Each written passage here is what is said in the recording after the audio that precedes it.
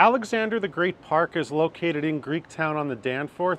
So Danforth Avenue runs above the two line and this area has dozens of mostly Greek uh, restaurants, bakeries, little takeout places too. Along this stretch of Danforth Avenue, the street signs are in English, they're in Greek, and you can see the Canadian flag flying alongside the Greek flag. Alexandros was the place I ate at last time. It was the most memorable thing I ate in my 2021 visit, so now I'm back here for more.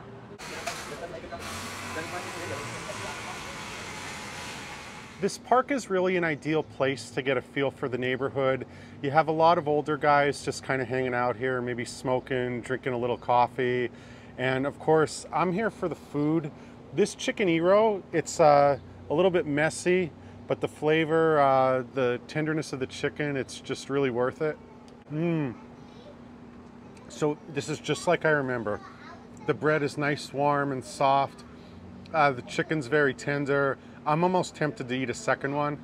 Alexandros also has a location along the waterfront, and it's right next to the water taxi. Thank you very much for watching.